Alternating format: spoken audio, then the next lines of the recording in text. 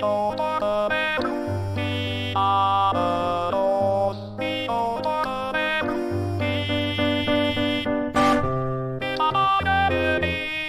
a second. I'm an NPC. I never got married.